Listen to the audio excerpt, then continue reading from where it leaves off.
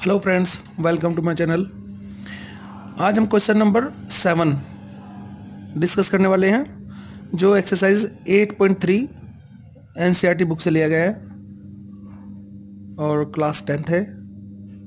ठीक है? चलिए इसको डिस्कस कर लेते हैं पहले, क्या करना है इसमें?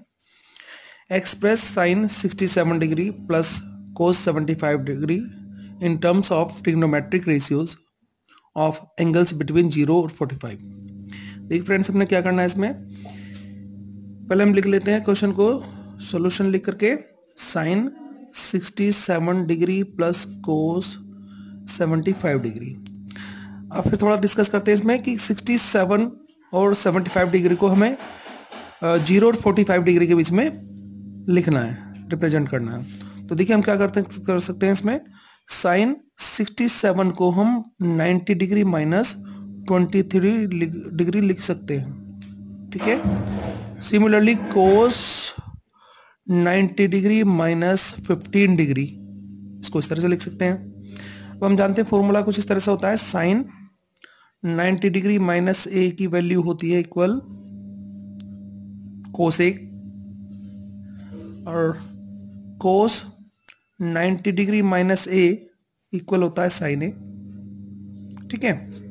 तो अब हम क्या चेंज करते हैं, देखिए, कि साइन 90 माइनस ट्वेंटी हो गया कोस 23 डिग्री के equal plus cos 90 degree minus fifteen हो गया साइन 15 डिग्री के इक्वल राइट तो हम देख रहे हैं कि sine 67 degree plus cos 75 degree की जो वैल्यू इक्वल हो गई है cos 23 degree and sine 15 degree ठीक है? तो ये 23 डिग्री जो हुआ एंगल, ये 45 डिग्री और ज़ीरो डिग्री के बीच में है गया आ गया है। इसी तरह से 15 डिग्री एंगल 45 डिग्री और ज़ीरो डिग्री के बीच में आ गया है। तो देखिए, क्वेश्चन सोल्व हो जाता है इस तरह से कि ये जो आ गया, ज़ीरो और 45 डिग्री बीच में हमने इस एक्सप्रेशन की टिग्नोमेट्रिक एक्सप्रेशन की वैल्यू सोल्व कर दी है, ठीक है? वो आ गया cos 23 degree plus sine 15 degree. Okay student